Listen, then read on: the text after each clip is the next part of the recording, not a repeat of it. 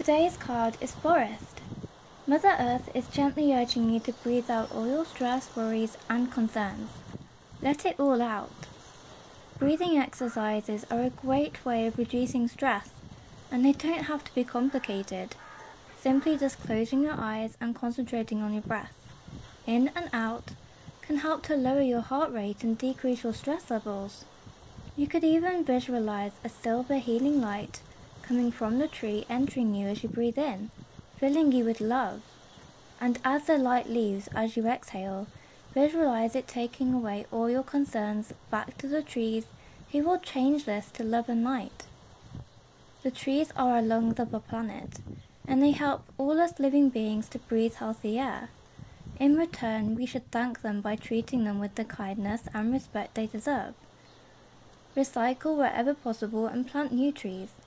The next time you're out for a walk and a tree calls out to you, hug it and listen to his wisdom.